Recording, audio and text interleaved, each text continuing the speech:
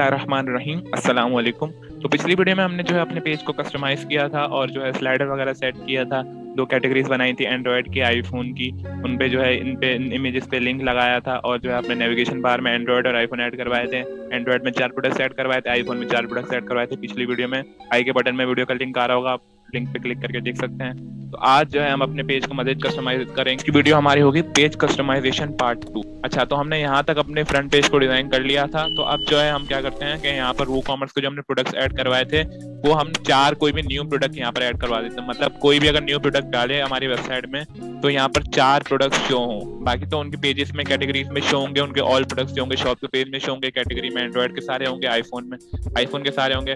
पर जो भी न्यू चार प्रोडक्ट्स हों, वो यहाँ फ्रंट पेज पे शो हो। तो हम क्या करेंगे? एडिट विद एलिमेंटर करेंगे। सबसे पहले तो हम इसको लॉग इन कर लेते हैं, क्योंकि लॉग आउट हो चुका है। तो हम लिखेंगे डब्ल्यू पी हाइफन एडमिन इसके बारे में हमने जिस वीडियो में बात की थी, उसका लिंक आई के बटन में आ रहा है, आप क्लिक करके देख सकते हैं। जब भी ये लॉग आउट हो तो हम ऐसे ही लॉग इन करते हैं। जब भी ये लॉग आउट हो तो हम डब्ल्यू पी हाइफन एडमिन लिखते हैं और फिर ये पैनल खुल जाता है। इसके थ्रू हम लॉग इन करते हैं इसको। अच्छा डैशबोर्ड पे आने के बाद अपनी वेबसाइट पे चले जाए वापस। एडिट विद एलिमेंटर पे क्लिक कर दें, जो हमारा पेज बिल्डर है, जिसके बारे में हमने वीडियो में बात की थी, उसका लिंक आई के बटन में आ रहा होगा। अच्छा इस पेज पे खुलने के बाद हमें जो है स्क्रॉल करना है, और नीचे जो है, इधर हमें जब चार प्रोडक्ट्स चाहिए तो हमें वो कॉमर्स शॉर्ट कोड यूज़ करने पड़ेंगे। इसके बारे में हमने पहले वीडियो में बात की थी आई के बटन में लिंक आ रहा होगा वो कॉमर्स शॉर्ट कोड के बारे में। वीडियो पे क्लिक करके आप देख सकते हैं। तो हमें सबसे पहले शॉर्ट कोड का सेक्शन लेना पड़ेगा। तो हम पहले प्लस पे क्लिक करेंगे, यहाँ से एक रॉ ले लेंगे।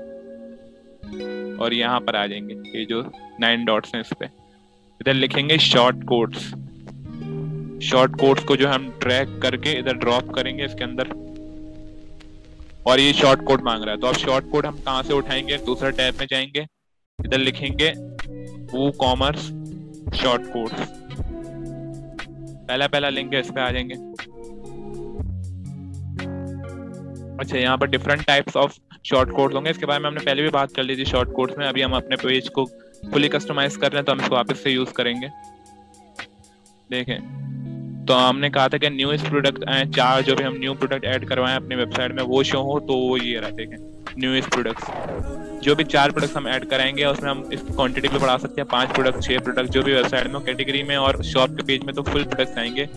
पर जो है होम पेज पे जो है, सिर्फ़ जो भी हम लिमिट देंगे, उसकी फोर या फाइव उतने शो होंगे। तो इसको हम यहाँ से जो है राइट क्लिक करके कॉपी कर देते हैं और अपनी वेबसाइट पे वापस आ जाते हैं। और जो शॉर्ट कोड मांग रहा था, इधर आके हम पेस्ट कर देंगे। अच्छा जैसे आप पेस्ट करेंगे तो देखें, जो न्यूज़ प्रोडक्ट हमने ऐड करवाए थे आईफोन के एंड में करवाए थे, चार प्रोडक्ट तो न्यूज़ प्रोडक्ट थे। तो ये चार आईफोन का शो होगा। अगर आपको इसकी लिमिट बनानी है तो आप इसको फोर भी लिमिट दे सकते हैं।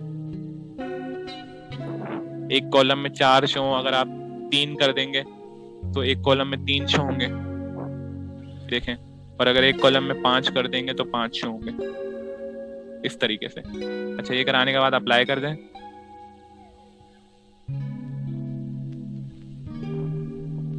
और अपडेट पे क्लिक कर दें। अच्छा इसके बाद मैं चाह रहा हूँ कि मैं इसके नीचे एक बैनर बना दूँ और उसमें कूपन कोड लिख दूँ, ताकि जो है लोग डिस्काउंट वगैरह अवेल कर सके उस बैनर को देख के। कूपन कोड हमने पहले बना लिया था तो उसको हम डिज़ाइन कर लेते हैं प्लस क्लिक करते हैं। एक रॉ ले लेते हैं। और सबसे पहले मैं इस पर एक इमेज ले लेता हूँ। इमेज ड्रैग करके इधर ड्रॉप कर देता हूँ।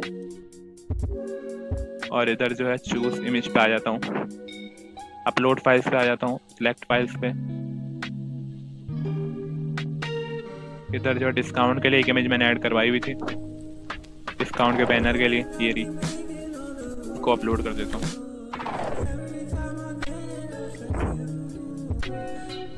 अच्छा इमेज लगाने के बाद मैं यहाँ से एक टेक्स्ट हेडिंग ले लेता हूँ और इसको, इसके ऊपर रख लेता हूँ।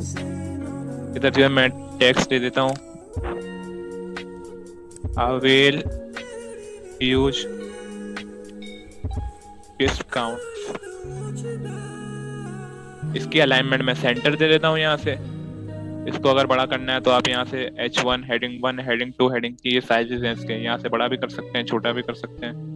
और जो है यहाँ से भी आप इसका साइड सेट कर सकते हैं मीडियम लार्ज स्मॉल करके। इसको कलर यहाँ से आप स्टाइल में आके देख सकते दे सकते हैं। ये ब्लैक कलर देना है तो मैं ब्लैक कलर दे देता हूँ यहाँ से। अच्छा यहाँ तक काम करने के बाद मैं अपने वेबसाइट पे वापस आ जाता हूँ लोकल स्लैश अपनी वेबसाइट का नाम लिख के।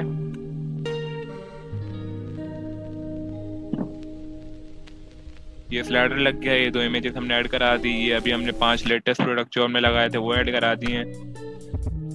यहाँ पर जो हमने एक डिस्काउंट का पैनल लगा दिया कि यहाँ से कोई भी डिस्काउंट ले सकता है। अच्छा मैं चाह रहा हूँ कि इसके नीचे एक फॉर्म दे दूँ ताकि कोई भी अपना रजिस्ट्रेशन करवाना चाहे मेरी वेबसाइट पे या अपनी इन्फॉर्मेशन सबमिट करवाना चाहे तो उस फॉर्म के थ्रू दे सकता है। तो मैं क्या करूँगा सिंपली अपनी वेबसाइट में जाऊँगा प्रोग्रामिंग स्पार्क डैशबोर्ड के अंदर। अच्छा डैशबोर्ड पे आने के बाद मैं जाऊँगा प्लगइन्स पे। ऐड न्यू प्लगइन पे जाऊँगा। जैसे कि मैंने बताया था कि जो भी हम इसमें फंक्शनैलिटी करेंगे प्लगइन्स के थ्रू ही ऐड करवाएँगे। तो प्लगइन के पेज पे आने के बाद आप लिखें एवरेस्ट फॉर्म एवरेस्ट फॉर्म लिखने के बाद देखेंगे ये वाला कुछ आइकन आ जाएगा। ये वाला प्लगइन आपने इंस्टॉल करना है। अच्छा इंस्टॉल करने के बाद इसको एक्टिवेट कर दें आप।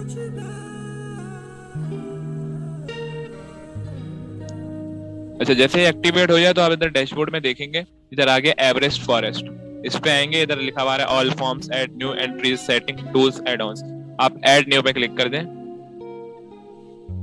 क्योंकि आपको फॉर्म बनाना है और अगर फॉर्म देखना हो तो ऐड फॉर्म पे क्लिक करेंगे। इधर सारे फॉर्म के टेम्पलेट आ रहे हैं। कुछ फ्री हैं, कुछ प्रीमियम है। तो हमें एक सिंपल सा कॉन्टेक्ट फॉर्म चाहिए जो हम अपने होम पेज के अंदर ऐड करवा सके। तो हम सिंपल कॉन्टेक्ट फॉर्म पे करेंगे। क्लिक गेट स्टार्टेड पे। फॉर्म का नाम हम दे देते हैं।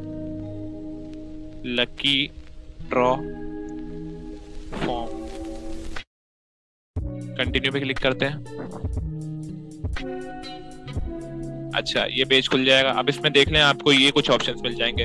अब आप इसमें एडिट भी कर सकते हैं। बहुत सारे ऑप्शंस अगर कुछ रखने हैं, जो कुछ हटाने नेम नेम सही है ईमेल सही है। इधर हम एक फ़ोन नंबर का भी एक दे देते हैं। नंबर लिखेंगे इधर। इसको ड्रैग करके ईमेल के नीचे ड्रॉप कर देते हैं। इसकी सेटिंग में जाते हैं। यहाँ पर क्लिक करके आइकन पे और इधर इसका लेबल दे देते हैं। फ़ोन नंबर रिक्वायर्ड दे देते हैं ताकि ये रिक्वायर्ड हो जाए स्टार आ जाए। अगर ये ये नहीं हो, अगर ये कोई फिल नहीं करेगा तो फॉर्म सबमिट नहीं होगा। स्क्रॉल करके सब्जेक्ट सब्जेक्ट हम हटा देते हैं क्योंकि हम लकी ड्रॉ फॉर्म बना रहे हैं तो हमें सब्जेक्ट की ज़रूरत नहीं होगी। इधर आके डिलीट पे आइकन पे क्लिक करेंगे तो डिलीट हो जाएगा।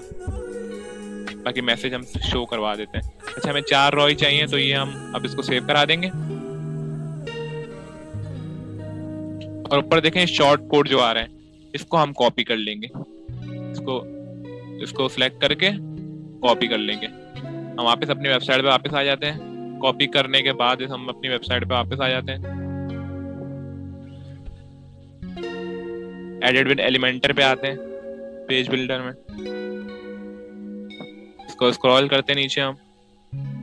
तो स्क्रॉल करते नीचे हम। इस पे क्लिक करते हैं। रॉ ले लेते हैं। फिर इसकी फुल कर देते हैं तो साइड पे सही तरह शो हो। इस पे क्लिक करेंगे हम।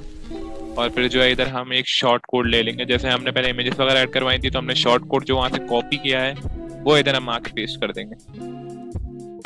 जो हमने फॉर्म से कॉपी किया था, वो इधर आके हम पेस्ट कर देंगे। देखिए हमारा फॉर्म आ गया। इधर जो मैं ऊपर एक हेडिंग वगैरह भी दे देता हूँ, इसको अप्लाई करके। पहले अप्लाई कर देता हूँ इसको।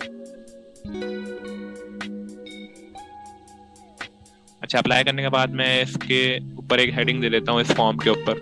लकी ड्रॉ फॉर्म की एक हेडिंग दे देता हूँ।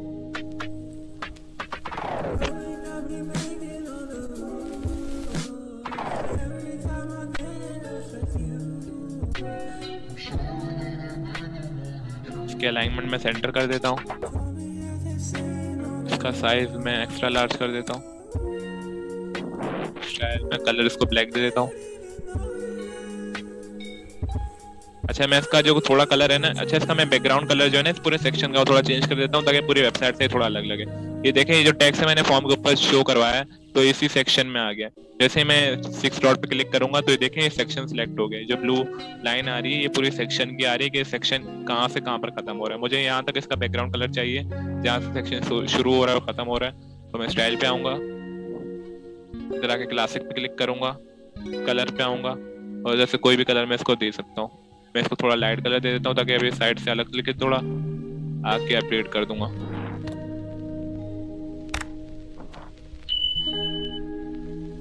अच्छा अपडेट करने के बाद मैं अपनी वेबसाइट पे वापस आ जाता हूँ। लोकल स्लैश अपनी वेबसाइट का नाम लिख के।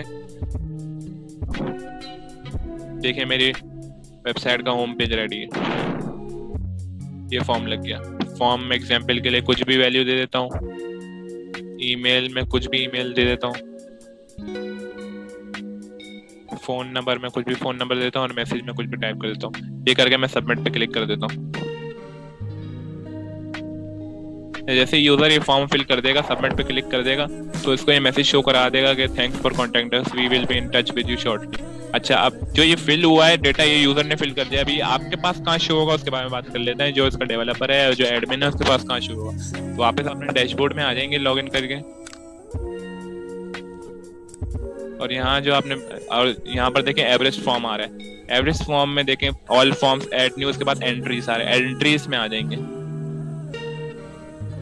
अच्छा एंट्रीज में देखें जो फॉर्म यूज़र ने फिल किया होगा, उसकी इन्फॉर्मेशन यहाँ आ जाएगी। नेम ईमेल फ़ोन नंबर और क्रिएटेड वगैरह, इसको ट्रैश में डालना चाहे तो भी डाल सकते हैं। अब अपनी वेबसाइट पर वापस आ जाते हैं हम। अच्छा तो आज की वीडियो में हमने जो है अपनी वेबसाइट को मजीद कस्टमाइज कर लिया होम पेज को प्रोडक्ट्स ऐड करवा दिए, कुछ इमेजेस वगैरह ऐड करवाई हैं और फॉर्म वगैरह ऐड करवाना सीख लिए। अगली वीडियो में हम इंशाल्लाह इसका कस्टम हेडर और इसका जो है फुटर है, वो कस्टमली बनाएँगे। मतलब थीम का नहीं, ये जो थीम की तरफ़ से हेडर आ रहा है, हम इसको हटा के अपना कस्टमली हेडर बनाएँगे, खुद बिल्ड करेंगे एलिमेंटर पे और इसका फुटर भी जो है, ये जो फुटर आ रहा है, ये भी हम कस्टमली बिल्ड करेंगे इंशाल्लाह।